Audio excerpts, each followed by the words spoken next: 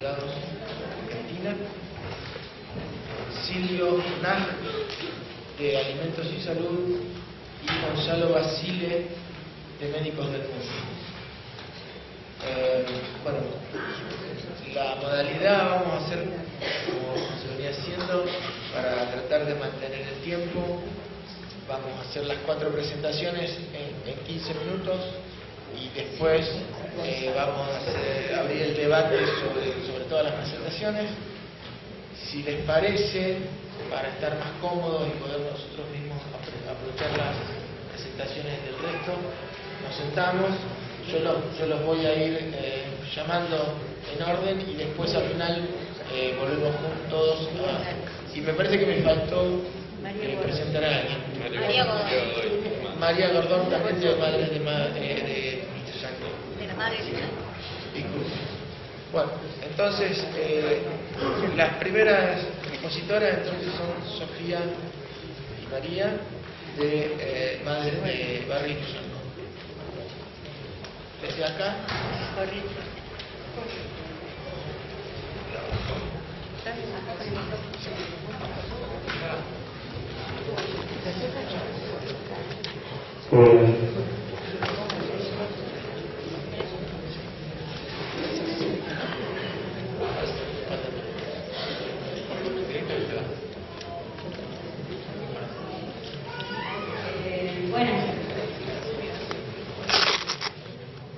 Eh, bueno, buenas tardes. Eh, mi nombre es Sofía Gatica.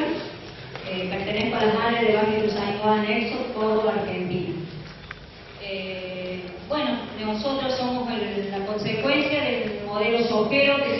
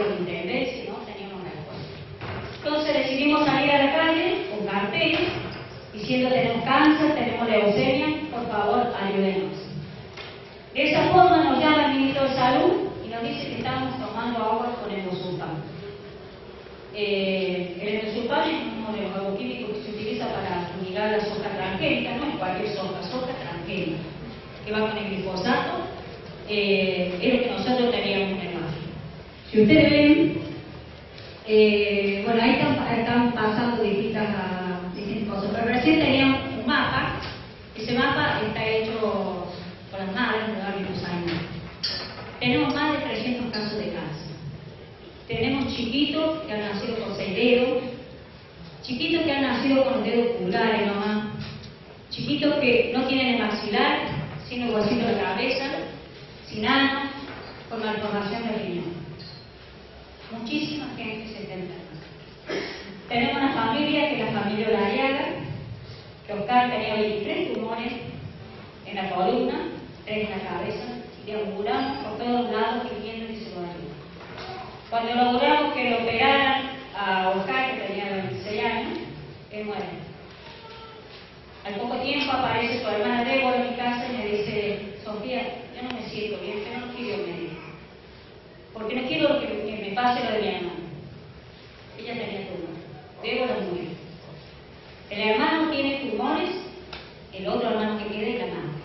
Estamos hablando de que está toda la gente de barrio de Salmón enfermándose. Ustedes van a decir, pero no hay ley, no hay. Nosotros logramos conseguir que el barrio entre en emergencia sanitaria, una ordenanza donde el barrio está en emergencia sanitaria, hasta hoy está en emergencia sanitaria.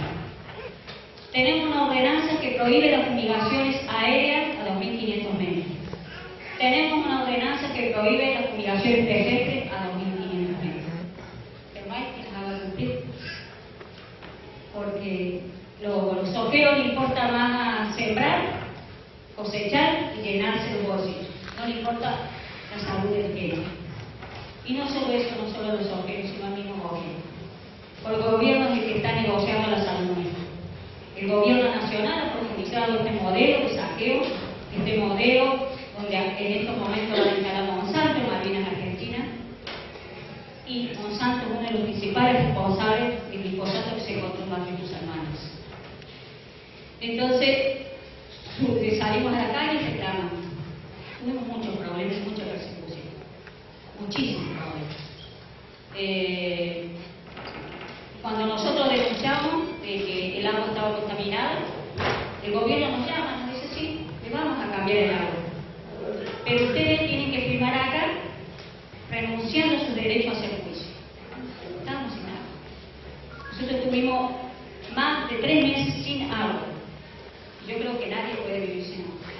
Llegaban unos camiones y nos daban un balde de agua por vecino, o a veces dos baldes de agua. Y nosotros firmamos que no íbamos a hacer juicio a la provincia, ni a vencer a nadie, pero que no dieran agua. Y de esa forma, Barrio Tuzayhuán eso consiguió el agua potable. Hoy en la actualidad tenemos agua potable, pero porque renunciamos a nuestros derechos. Nosotros, eh, para estar en esto, tuvimos que pasar muchas cosas, muchísimas cosas. Eh, en mi caso particular, eh, empecé a recibir amenazas por teléfono diciendo que tenía tres hijos, que iba a tener dos. Tuve intervenido el teléfono por la Policía Federal para saber quién me amenazaba. Después, la misma policía que protegía a los ojeros para que fumigara, era la que me sacó de mi casa. Sacaron 15 patrulleros de mi casa para que yo desmintiera de que la policía estaba ayudando a los ojeros. Nosotros hemos pasado por eso, nos han llevado detenidas y nosotros sabemos lo que hacemos. Nosotros no estamos pidiendo nada. Nosotros estamos reclamando nuestros derechos, que es el derecho a la salud y a vida. Y como sabemos cuáles son nuestros derechos, tuvimos que estudiar, tuvimos que aprender de- del glifosato, del glifosulfán, del DDT, del malaquión, tuvimos que aprender cuántas partes por millón tiene el transformador de PCB, tuvimos que aprender cuánto, o sea, los campos magnéticos, cuánto, eh, cuánto tiene de radiación. Tuvimos que aprender muchas cosas para poder defendernos del gobierno, de aquellas personas que nos representan a nosotros, de aquellas personas que nosotros le pagamos sueldo. Tuvimos que defenderlos de esas personas. Y de tal forma nos tuvimos que defender de que nos enfrentaron vecinos contra vecinos. Nos empezaron a llamar locas, eh, que éramos revolucionarias, que éramos zurdas, y nos enfrentaron los vecinos. Los mismos vecinos que no nos dejaban subir al colectivo porque nos insultaban, nos trataban mal. Hasta que algunos estaban, les tocó, porque les tocó eh, enfermarse. Y es muy difícil pelear, pero no pelear con Monsanto, pelear con el gobierno, es muy difícil pelear con los vecinos. Yo creo que si nosotros estamos unidos, podemos defender nuestros derechos.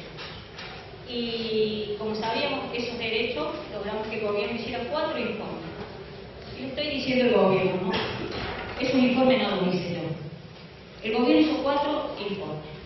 Uno en el 2002, que lo hace el ministro de Salud, Roberto Chuy, y dice que todos sanos, que toda esa cantidad de enfermos que ustedes ven es normal, que no pasa nada. Seguimos en la calle, con los, enfrentándonos a los agujeros que nos esperaban con los palos, los machetes, que nos decían, de acá come el muerto de hambre, de la retención de las hojas pagamos los planes sociales. Y era verdad. Los planes sociales se pagan de la retención de las hojas, pero nosotros estamos dejando nuestra vida. Entonces, con ese movimiento logramos que se hiciera el segundo informe.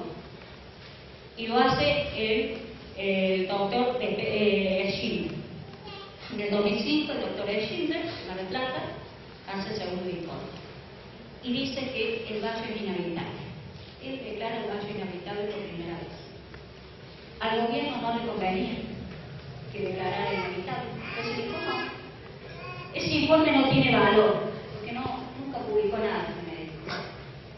Así como vino, el doctor Schindler se tuvo que volver a matar. Y empezó a recibir amenazas el doctor Schindler y nosotros tuvimos que ir a buscar ese informe a Mar del. Y lo tenemos, pero no tiene valor porque no publicó nada el doctor Schindler. Seguimos reclamando porque sabíamos que era grave lo que estaba pasando. En el 2007 logramos que la OPS, la Organización Panamericana de la Salud, diga que el valle está contaminado. Ya lo sabíamos. Sabíamos que teníamos endosopar, que teníamos DDT, que el agua estaba contaminada, que los suelos estaban contaminados, que nuestros niños tenían de 3 a 4 agroquímicos en sangre. Porque logramos que se analizara la sangre de los chicos. También tenían agroquímicos. Mi hija tiene agroquímicos en sangre. Y dice, no hay antídoto. Pero no era suficiente. Siguieron dejando que la gente siguiera muriendo. En el 2009, después de que la presidenta de la Nación ve eh, página 12, que un barrio de la periferia de Córdoba se está enfermando, está muriendo por enfermedades, la presidenta dice, uh, vamos a mandar a la ministra, en ese entonces estaba la ministra Ocaña, vamos a mandar al barrio a ver.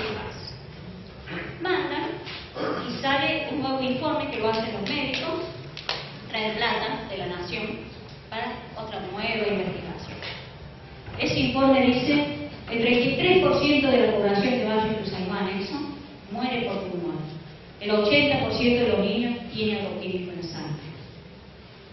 Y a su vez, hace, eh, mientras teníamos agroquímico, lo supan todo, hacen otro informe paralelo que el glifosato no hacía nada. O sea, la misma presidenta hace dos, dos tipos de informes.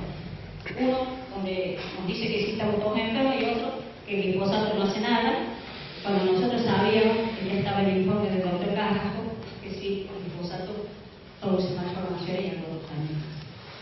Entonces nosotros hemos recogido muchos lugares, muchísimo, muchísimo, hasta hemos llegado a la Casa Blanca.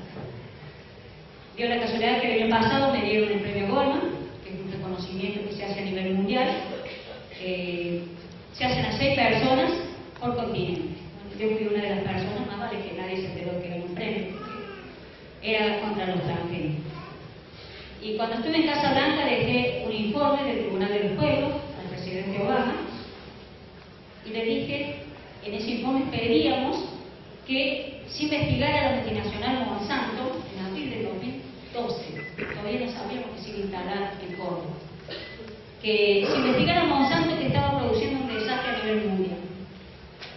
A los seis meses me manda una carta, Obama, una carta espectacular, dorado, plateado, inglés, inglés, la hice traducir y la traductora me dice, yo te la voy a traducir, pero te lo voy a hacer breve, me dice. Obama te manda a decir esto, dice. Nada puedo hacer con la multinacional Monsanto, siga luchando que lo están haciendo bien.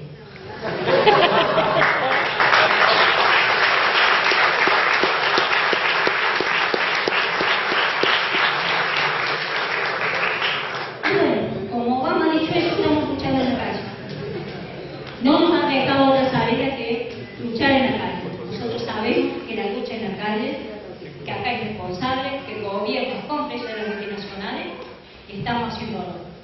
Porque conocemos nuestros derechos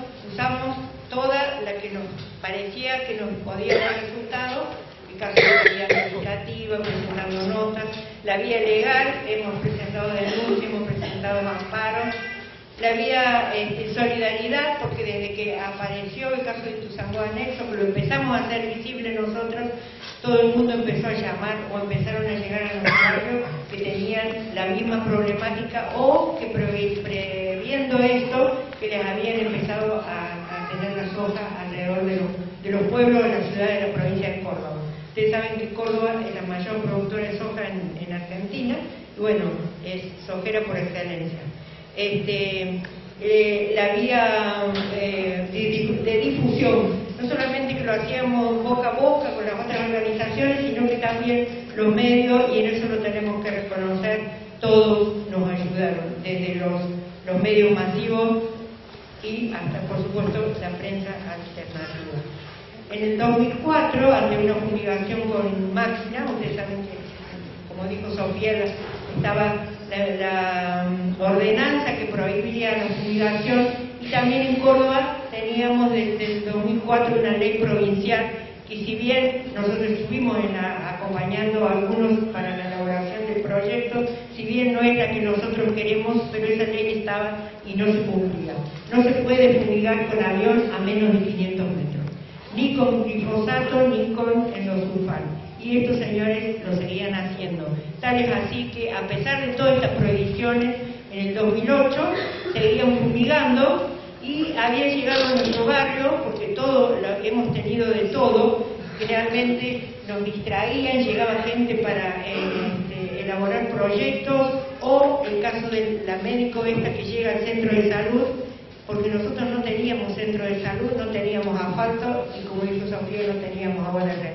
Todo eso lo conseguimos con la lucha, y principalmente un médico que lo pusieron al frente de salud cuando recién inauguran que era una casita alquilada, hoy tenemos el edificio del centro de salud, muy lindo él, este, queríamos que ese médico se tendría que haber eh, hecho cargo de ese centro de salud, mandan a otra médico para apaciguar los ánimos, estas fueron palabras de ella, que nos mandaron a nosotros en la reunión que tuvo con la gente del centro de salud, que estábamos, como dijo el ministro Chuy, igual que cualquier barrio del mundo. Pero debe ser que ese día no podía, no podía respirar, entonces llama inmediatamente a la municipalidad, muy desesperada ella, que, no podía, que los estaban fumigando. En ese momento estaba en la subsecretaría de salud, hacían muy poco que habían entrado, el doctor Medardo Ávila Vázquez como eh, subsecretario de salud y el doctor Darío Ávila como asesor de entrada. Ellos inmediatamente toman esto y hacen la denuncia bueno, se mandaron a tomar las muestras y este, analizar esas muestras. Cuando las muestras vuelven, se dan que habían encontrado el sulfán y glifosato 418 metros, cuando eso estaba prohibido a menos de 500 metros fumigándolo con avión. Bueno, ahí empezó todo, llevábamos, estaban imputados dos ojeros y un aeropicador, ellos piden este, el sobreseimiento y viene un juez de control y se lo da. El fiscal este, apela a esto, pasa a la Cámara de Acusación, la Cámara de Acusación da lugar a lo que pide el fiscal y lo manda a funcionar público. Esto desde que empezó, que fue en el 2009, en el 2012 recién nos dieron la fecha de la primera audiencia, porque nos habían dicho que para el 27 de febrero íbamos a tener la primera audiencia y en ese día es declarado feriado nacional, entonces quedábamos de nuevo esperando. Nosotras muy ansiosas estábamos este, eh, para que esto empezara y el 11 de junio del 2012 empezó el juicio. Y bueno, ahí se vio el trabajo que habíamos realizado eh, desde, con las otras organizaciones. No nos olvidemos que nosotros fuimos los que empezamos el pare de fumigar, si bien después, digamos, entre comillas, se institucionalizó un poco, porque aparecieron nuevas organizaciones, y eran todas las organizaciones de las localidades de Córdoba, y también lo organizamos con Santa Fe, con la provincia de Buenos Aires, que estaban luchando contra las fumigaciones y las mismas problemáticas que Barrio Tuzaco Anexo. El primer día fue una cosa muy, muy emocionante, porque hubo gente que llegó de todos lados, incluso del exterior, como el caso de Isabel Bravo y Arturo Campaña, que incluso estaban como movedores internacionales, ellos ahí fueron a acompañarnos. Eh, hicimos una gran carpa donde eh, se pasaron, eh, donde hubo charlas, donde hubo exposiciones, donde hubo venta de productos orgánicos y lo más lindo fue la olla popular que hicimos y que con eso mostrábamos que hay alternativas para los transgénicos, que era cocinar con orgánicos y bueno, esto fue todo muy lindo, estuvieron las murgas, a pesar de lo que estábamos esperando, este, era, había mucha alegría. Bueno, cuando nos dan las sentencias, eh, todo el mundo sabe, este, son declarados culpables un sojero y el aeroaplicador, uno de los sojeros es absuelto, pero no le daban condena efectiva y los mandan a hacer tareas comunitarias. Ellos apelan esta instancia y hoy la, causa está en la Cámara en, en casación. Nosotros, bueno, fue muy tarde cuando nos dieron la sentencia, estábamos muy cansadas, muy nerviosas, y bueno, por supuesto que no la recibimos bien, nos pusimos re mal, y bueno, como dijo Sofía, creemos que es un antecedente muy importante porque hoy en Córdoba y en la Argentina, fumigar sobre las, eh, sobre las personas es declarado delito y puede ir preso la persona que, haga, que, que lo haga. Nosotros estamos, por supuesto, vuelvo a repetir, el que fumiga, envenena, enferma y mata, tiene que estar preso. Entonces, este, en el medio del juicio es cuando la señora Presidente anuncia desde Nueva York que iban a instalar Monsanto en Malvinas, Argentina. Nuestro gobernador, que desde hace bastante ya que viene como opositor o haciendo propaganda de que es opositor al gobierno nacional, también lo recibe con los brazos abiertos. Y el intendente de la localidad de Malvinas, que es también opuesto al partido político a la presidente, también lo recibe con los brazos abiertos. Y entonces ahí nos damos cuenta que estuviera o quien estuviera, este modelo seguiría adelante. Y que la única forma de frenarlo, de pararlo, es la unión entre todos, porque yo creo que cada día hay más gente que toma conciencia de esto, y eso nos dimos cuenta cuando en el, 2010 aparecieron los médicos con su primer congreso de los médicos de pueblo fumigado. Y bueno, eso fue un empuje muy grande porque no es lo mismo que lo diga un médico, un biólogo o un bioquímico y que lo, o que lo digamos nosotras, porque mucha gente a partir de eso este, empezaron, a pesar de que se sabían las cosas, empezaron a decir, oh, lo que está pasando en la Argentina. Entonces, yo creo que nos tenemos que unir todos. Y hoy escuchaba ¿no? a, los profesionales y sobre todo el doctor Seralín cuando decían de que este, había sido publicado en la mejor revista de toxicología los estudios y yo creo que eso eh, si bien está para el ambiente científico o el ambiente médico, yo creo que alguien se tiene que ocupar, como lo hizo el doctor Carrasco, de bajarlo a la gente, porque somos nosotros los afectados y en realidad somos nosotros que ponemos el peso y ponemos el cuerpo para luchar contra este modelo extractivo este, y contaminante que nos está matando.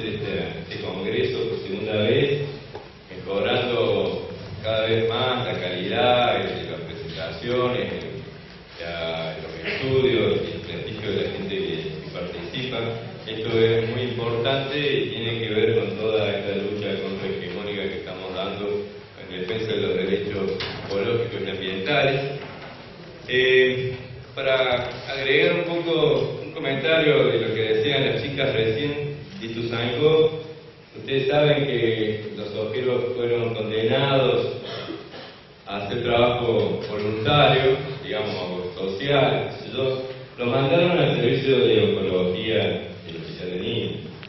no, no lo están haciendo. Por suerte no están haciendo el trabajo porque las enfermeras nos dijeron, por favor, díganle a la que no nos manden estos hijos de puta acá, que enferman los científicos que tenemos acá. ¿Cómo vamos a traer esos tipos acá a repartir las mamaderas de los chiquitos con los diseños enfermos por ellos mismos? Esas son las cosas por ahí, medias ridículas, que se hacen y que uno dice, ah, bueno, está haciendo trabajo social digamos, no lo íbamos a matar a estos dos tipos haciendo ese trabajo, y no teníamos que volver a victimizar a los niños enfermos por estos tipos, de tener que soportar a estos tipos ahí eh, en el servicio. Bueno, eh, yo les voy a hablar de, otro, de otro tema, un poco vinculado a esto, tiene que ver con las iniciativas de Monsanto eh, que fueron presentadas en junio del año pasado, que hacía mención también así que tus amigos, son este, unos proyectos de desarrollo industrial y del agronegocio que tiene Monsanto en Argentina y que está llevando adelante. Básicamente es la instalación de una planta para procesar maíz este, en la ciudad de Malvinas, Argentina, que es un pequeño pueblo que está a 15 kilómetros de la, de la, de la ciudad de Córdoba, que está acá donde se lo puede Ituzaingó está acá abajo, muy cerca, hay menos de 6 kilómetros entre, los dos lugares, entre Malvinas y Ituzaingó. Este, ahí Monsanto va a construir una planta gigantesca para procesar semillas que van a alcanzar a sembrar 3 millones y 600 mil 500.000 hectáreas. En Argentina se están sembrando casi 4 millones de hectáreas de maíz. Ellos con eso piensan aportar al desarrollo de, un aumento de la producción de maíz en Argentina.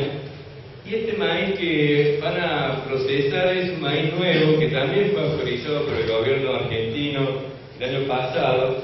Y un maíz este, en el cual ha incorporado rasgos genéticos que le dan alguna ventaja, como dicen ellos. Un que ha sido manipulado de tal forma que se ha convertido en una planta verdaderamente venenosa. Este, este maíz le han injertado genes de, unos vasitos del suelo que naturalmente producen una toxina que actúa contra los insectos, que son los mecanismos naturales que tienen para poder competir con los gusanitos en el suelo por la digestión de la materia orgánica este, y bueno, los ingenieros de biotecnología encontraron de que estas proteínas secretadas eh, por estas, por estos genes, sintetizados por estos genes, si se las ponían a las plantas de maíz, hacía que las plantas de maíz sean por sí mismas insecticidas.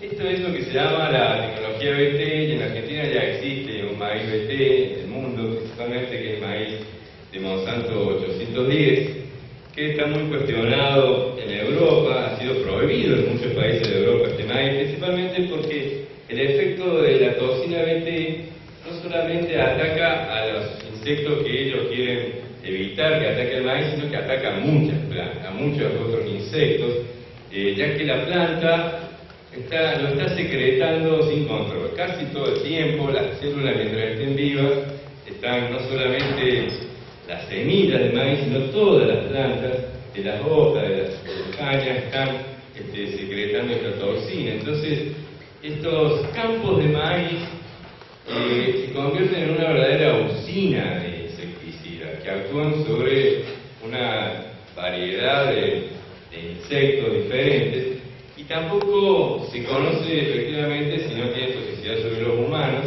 ya que hasta esta era este, el contacto de los humanos con este tipo de proteínas era mínimo, porque eran proteínas que eran secretadas por unas bacterias del suelo en pequeñas cantidades para lograr un espacio en su disputa con la materia orgánica, con los gusanos que también andan por. Entonces, bueno, este maíz tan cuestionado ahora ha sido convertido en un maíz que tiene tres toxinas, no una toxina de té, sino tres toxinas que la hace muchísimo más tóxica. Por supuesto, no hay ningún tipo de seguridad que no sea tóxica, sino que la autorización de, estos eventos, de estas semillas, se hace básicamente sobre el principio de la equivalencia sustancial, el que parece un maíz, entonces debe ser igual que un maíz, y con eso el SENASA y la CONAVIA los aprueba. Este, aparte ese maíz, de, ese maíz nuevo que según Cristina se llamaba intacta, cuando lo hicieron en Estados Unidos, también tiene la capacidad de ser resistente al glifosato, o sea, donde sembrarán ese maíz va a llover glifosato, más intensamente de lo que nos mostró ayer el doctor Marino de la Plata, sino que también va a llover glufosinato, porque han dado la capacidad de que sea resistente para otro herbicida, ya que como el glifosinato, el glifosato se está volviendo inservible, inefectivo, porque empiezan a crecer muchos yuyos resistentes entre los surcos del maíz, ahora le han agregado la capacidad de que sea resistente al glufosinato, con lo cual nos van a fumigar con una mezcla de estos herbicidas. El glufosinato, por supuesto, es un producto que tiene toxicidad reconocida sobre los humanos. O sea, una, una verdadera semilla del mal, digamos. Este, se- este maíz nuestro, americano, que posibilitó que durante 7.000 años las culturas originarias pudieran desarrollarse en este continente, ha sido manipulado de una manera realmente increíble, convirtiéndolo en una planta que no va a ser muy recomendada para el alimento, ni siquiera de animales. Lo más probable es que después de unos años sea destinado exclusivamente a producir este, energía o este, bioetanol. Pero bueno, en la planta de Monsanto, que es gigantesca, le hacen todo un tratamiento a, a este maíz, porque no es maíz común, es el maíz para ser sembrado con semillas.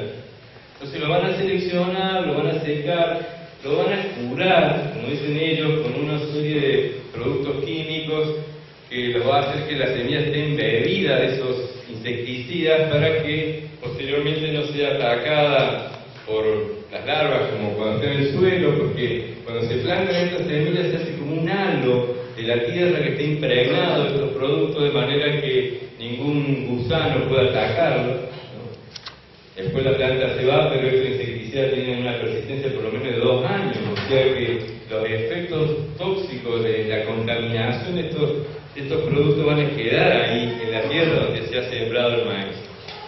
Estos productos este, que van a utilizar, que en general son fabricados por Bayer o desarrollados por Bayer en Alemania, este, los, semi- los productos de estos puras semillas, son productos que están prohibidos en Alemania. En Alemania no se pueden comercializar, ok, los alemanes, la Bayer los fabrica. Y el tío Metoxan, como ser, es el que explotó en Buenos Aires en diciembre en un, en un contenedor en el puerto de Buenos Aires, que es un insecticida bastante tóxico, este, que en este caso estaba destinado a, hacer tratamientos de, de curación de maíz. Estos productos son más tóxicos que el DDT. Nosotros siempre creíamos lo que nos decían los agrónomos, es que los productos nuevos son menos tóxicos que los anteriores, como ser el DDT, era el terror de todo y nos aseguraban que estos productos eran menos tóxicos. Pero fíjense en esta tabla que se publicó muy recientemente, porque en Alemania se prohibieron un grupo de insecticidas, neonicotinoides, por su toxicidad en las abejas, en esta tabla se comprueba que la toxicidad de valor 1 del, DDT va aumentando en estos productos que se usan ahora tan masivamente, como el fipronil o el imidacloprid, que tienen varias veces de miles de veces más toxicidad que el DDT. Estos productos no son menos, estos insecticidas no son para nada menos tóxicos de lo que era el DDT, como es otro de los mitos y las mentiras que nos han estado este, metiendo toda la, industria de, estos químicos. Bueno, eh, Malvina Argentina es un pueblito muy pobre que está dividido en tres sectores. Nosotros, nosotros con dos grupos más de dos cátedras de la Facultad de Medicina hicimos un relevamiento junto con los vecinos de la Asamblea Lucha por la Vida de Malvinas. Hicimos un relevamiento de un estudio búsqueda de información, de datos sociológicos y encuestas cualitativas, un estudio cuantitativo, y ver cuál es la situación de Malvinas hoy, antes de que se instale la planta. Y hoy claramente Malvinas es un pueblo fumigado, y como pueblo fumigado tiene las mismas características que tiene Bajo Tuzangó, o que muchos de los otros pueblos que también han estudiado los estudiantes de acá, de la Universidad de Rosario y de la Facultad de Medicina. Pero la característica que tiene es de que todos los pueblos objetos de Córdoba es el único pueblo pobre. Los pueblos más ricos de Córdoba son pueblos objetos. Pero dentro de ellos, Malvinas Argentina es el más pobre de todos por el que tiene menos, la, mayor cantidad de necesidades básicas insatisfechas, y a pesar de que es un pueblo que está en el medio de la zona sojera, aunque no es un pueblo sojero. La gente que vive ahí es gente humilde de la ciudad de Córdoba, trabaja en la ciudad de Córdoba, que no está vinculada a la producción agrícola y que ahora, como tiene problemas laborales, Monsanto y el gobierno que ellos quieran ideales para poder contratarlo en esta planta de trabajo tan tóxica. Bueno, nosotros hicimos una, este, hicimos este, un, un relevamiento bastante detallado. Eh, se alcanzó el 25% de la población, se cubrió todos los sectores, se calculó los genes para los principales resultados, o sea, con todos los detalles epidemiológicos de rigor, y estos son algunos de los resultados. ¿no? Como se para enfermedades respiratorias, Malvinas una prevalencia del 15%, o sea, el 15% de los habitantes tiene problemas respiratorios, pero en el barrio que está más expuesto a las fumigaciones, este porcentaje llega al 20%, o sea, es mucho más alto, y el porcentaje de una población sana, digamos, es de que un 10%, un 8% de personas tengan problemas respiratorios tipo A. Acá estamos hablando de que es un 15% y un 20% vendría a casi el doble en los sectores más expuestos. Para cáncer, también encontramos un aumento, sobre todo en las zonas más cercanas donde se eh, donde se fumiga. Los barrios, las zonas del pueblo, que estaban más cercanas donde se fumigaba, llegaban a tener hasta ocho veces más riesgo de desarrollar un cáncer entre esos vecinos comparado con los que se alejaban, se encontraban más alejados. Para la dermatitis también era la misma situación.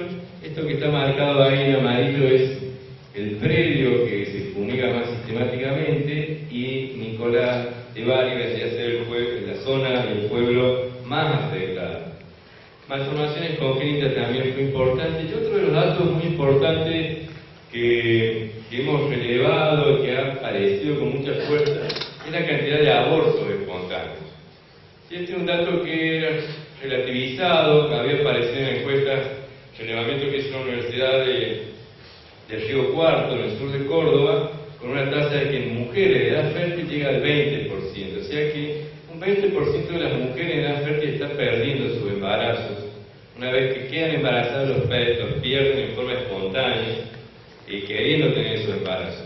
Es un número muy alto, sumamente alto, hasta tenemos un 4% de lo esperado y estábamos encontrando en el sur de Córdoba 19%, nosotros encontramos en Madrid en todos los sectores un 22%, en Nicola de Bar hasta un 25% de las mujeres que perdían su embarazo. En Ituzaingó ese porcentaje llegó al, al, 22% también. O sea, la situación en, en Malvinas no recomienda, no hace que sea posible instalar esta planta, porque es un pueblo que está en mala situación sanitaria, está en mala situación ambiental, en mala situación social, y poner esta planta va a agravar esta situación. Pero aparte de, aparte de lo de Malvinas en sí, la instalación de la planta, esta planta es para procesar el maíz. Es maíz para sembrar, es el maíz con el cual le van a vender a los productores para que siembren en todo el país. Ese maíz es cosechado en un lugar. Y ese lugar podemos detectar que es una zona que está del otro lado de la Sierra de Córdoba, que se comparte entre Córdoba y San Luis, que es el valle de Conlara y el valle de Tras la Sierra. En esa zona encontramos que hay un verdadero santuario transgénico de, de Monsanto para este, cultivar semillas. O sea, no son cultivos de maíz comunes, son cultivos de maíz para semillas transgénicos. En ese lugar, como se ve, hay un acuífero. Ese valle tiene un acuífero muy rico, este, con mucha agua, es una zona seca, o sea que no llueve, eh, hay poco viento, es un valle que está bastante protegido, con poca contaminación genética, y entonces en esos lugares utilizan directamente, digamos, Monsanto lleva adelante los cultivos, no lo hace ningún gringo, ninguna relataria, sino la propia Monsanto que arrienda campos y lleva adelante los cultivos. Y lo hace con, este, con estos pivotes artificial, o sea, él los riega utilizando agua, cuenta con energía eléctrica que el gobierno de los Rodríguez ha, le ha dado toda una infraestructura de desarrollo en esta zona. Uno cuando viaja por ahí encuentra aeropuertos internacionales en medio de la nada. Y este aeropuerto, ¿qué hace acá? Y está para que baje un ingeniero de Monsanto. Porque lo único que hay ahí son campos de Monsanto y campesinos. Este, fíjense, eh, los, campos ahí como se ven, son campos circulares que se ven en las, en satelitales. Está, están realmente desperdigados por todo el valle. En estos campos, este, ellos siembran como se, para el maíz intacta, siembran un maíz y una variedad genética en una hilera y siembran otro en otra hilera. Diferente. El objetivo es que se mezclen estos dos. Entonces, en un momento dado, cuando la panocha, la flor de la punta del maíz está, está creciendo, tiene que venir alguien y cortarla. No lo puede hacer una máquina. Un trabajo lo hacen con trabajadores este, temporarios que van por las hileras cortando la panocha superior, de tal manera que esa parte que es la flor masculina no actúe y solamente actúe en las flores masculinas de la, de la otra planta que ellos quieren que se entrecruce. De esa manera logran entrecruzar plantas eh, ya transgénicas y hacer un apilamiento. Este, eso requiere un trabajo intensivo de mucha gente. Y los compañeros de, del Valle nos contaban que ellos ya no trabajan, nadie, ningún muchacho, ningún peón de la zona trabaja en los campos de Monsanto porque han sufrido los efectos de trabajar en un lugar sumamente contaminado. Imagínense en estos campos para semillas, que los gringos de acá le ponen un montón de glifosato y insecticidas, en este que tiene que salir la semilla perfecta, los ingenieros de Monsanto le ponen tres veces más de aplicación en agrotónico. El ambiente agrotóxico, el ambiente de, toxicidad que se vive ahí es muy intenso. Fíjense, esto es en, la zona de los Cerrillos y, Córdoba, San Vicente. Acá, no sé si alcanzan a ver, acá está el pueblo de, los Cerrillos y alrededor del mismo pueblo se ven los círculos de plantaciones de de maíz. El otro día estuvimos con el director de la escuela de los Cerrillos nos contaba la cantidad de niños enfermos con leucemia que tienen en esa escuela. Es espantosa la situación que se vive en esta zona. Este, las 300 plantas despanojadas, o sea, 300 plantas tratadas, van a generar los choclos que van a producir una bolsa de maíz. O sea, la cantidad de trabajo de personas que necesitan acá es muy grande. Y el costo laboral que ellos están pagando los obreros es de 2 dólares con respecto a una bolsa de, de, de semillas que le venden a 140 o a 200 dólares. No semillas que uno compra para darle de comer a los pollos, que valen 100 pesos. Estas son bolsas de semillas para sembrar, que valen 100 dólares, 140 o 200 dólares. ¿no? O sea, eh, eh, la, la diferencia de precio y la ganancia que tiene Monsanto acá es, es sumamente elevada. Bueno, eh, en los compañeros campesinos de Valle con Lara cortaron la ruta hace 20 días y se armó una coordinadora eh, para, que, en- en- para que el valle sea un valle libre de transgénicos y un reclamo que está increpando por primera vez puramente a los Rodríguez Sá, que se han visto sorprendidos de que la gente a la que le dan casa y le dan tantas facilidades, hoy le esté reclamando que este, el ambiente lo ha vendido totalmente al mejor postor y el mejor postor muchas veces, por lo que vemos, si no es Balabarri, es Monsanto. Terminar, quería mostrarles dos o tres slides de un informe que acabamos de sacar utilizando los datos de CASAFE, que es la Cámara de, Agroquímicos Argentina. Nosotros venimos siguiendo eh, la evolución de- del consumo de agroquímicos en Argentina. Esta, ta- esta tabla muestra cómo ha ido aumentando desde el año 90 el consumo de agroquímicos en nuestro país pasó de 38 millones de litros o kilos a 317 millones. O sea, hemos aumentado unos 858% la cantidad de agroquímicos que se tiran en la Argentina. Es un 858%. Fíjense, esta es una tabla también del Ministerio de Agricultura y Ganadería y de una fundación vinculada al agronegocio. Y acá podemos ver que desde el año 91 hasta 2012 la superficie cultivada en la Argentina aumentó un 50%. Pasó de 20 millones de hectáreas a unos 30 millones más o menos. Incluyendo los principales cultivos.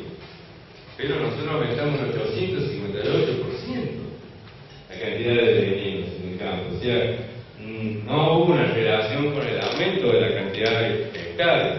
Y el rendimiento de los cultivos, esto es lo otro más llamativo, el rendimiento de los cultivos tampoco aumentó, aumentó solamente un 30% y tiene que ver más que nada con que aumentó la densidad de plantas por hectárea. Ponen mucho más plantas y las, los surcos entre surcos son, la distancia es menor entre planta y planta se redujo a la mitad o menos de la mitad la que- los surcos con que se hacían en la década del 70. Entonces ya es el aumento del rendimiento más que eh, la presencia de los agroquímicos. Entonces, acá hay una mentira que no se puede constatar en la realidad. O sea, el aumento de los agroquímicos es exponencial. Supuestamente los transgénicos no van a, nos van a posibilitar que usemos menos agroquímicos, pero nosotros, fíjense en la curva verde, lo que es. Supuestamente tiene alguna relación con el aumento de la cantidad, la superficie eh, cultivada, no hay relación y menos con el rendimiento. O sea, hay una serie de mentiras y mitos que este, eh, no tienen asidero. Y si tienen asidero este vínculo, como ser, mientras en los mismos años que viene aumentando la cantidad de agrotóxicos, aumenta el cáncer. Como estos son los datos de Noel Pinker, desde el año eh, 2004 al año 2008 también no solamente aumenta la cantidad de agroquímicos que destinan a ese pueblo, sino aumenta la cantidad de pacientes que se mueren de cáncer. Y fíjense en esto, estos son datos oficiales del Ministerio de Salud de Córdoba. En Córdoba capital, conocer, nunca pasó de un 20% la cantidad de vecinos que se murieron de cáncer. Sin embargo, desde el año 2003 al año 2010. Sin embargo, en Brickman, en Oliva, en San Marcos Sur, los, los números son superiores y van aumentando. Todos los años van aumentando la cantidad de cordobeses que se mueren de cáncer, sobre todo si viven en pueblos fumigados. Los que viven en Córdoba no aumentan. O en Carlos Paz, eso en Carlos Paz tampoco se fumiga, pero tenemos los espectáculos de teatro que dan todos los veranos que podrían producir un poco de rumores cerebrales, pero bueno. ¿No? Este, Pero bueno, digamos, la mortalidad por cáncer viene aumentando en todo el país en un 20%. También, y los estudiantes de medicina de la Facultad de Rosario saben de que en los pueblos fumigados los números son muy superiores. Y bueno, en, en- en el Chaco también eso se ve. Para terminar, vamos acumulando datos, vamos acumulando información pero digamos, no logramos que la cosa cambie. Yo creo que venimos a, multiplicando esfuerzos y dando pasos en adelante, pero no vamos a convencer, no vamos a lograr que cambien solamente porque le demostremos que nosotros tenemos razón y ellos estaban equivocados. Porque esto no hacen lo que hacen porque esté bien o esté mal, sino porque les conviene. O sea, esto es un problema concreto, hay una pelea por valores y de lucha de ideas. Esa es la camiseta de San Martín de San Juan, el equipo de primera de San Juan, que está en el equipo de la Barra. Toda la liga de fútbol sanjuanina está comprada por la Barra y todas las camisetas de todos los equipos en San Juan dice San Juan Minero en el pecho. Es todo un trabajo político ideológico para meter la Barra como que es tu, mejor amigo. Nosotros con las madres y tus amigos pudimos llegar a este juicio y a tener movilizaciones masivas con mucho esfuerzo, sumando a todos los compañeros las distintas fuerzas políticas, y, pudimos llegar inclusive a esto, que se ve que Belgrano de Córdoba, en un partido de primera, puede abrir una bandera y decir que estamos con la madre de Tuzangó y estamos pidiendo que paren de fumigar. O sea, estos mecanismos tenemos que darlos, esta es una muestra de que la lucha no es solamente que demostremos de que están contaminando, sino que busquemos ahí una pelea de ideas que se da en muchos planos. Este, inclusive, Talleres de Córdoba también le dice no a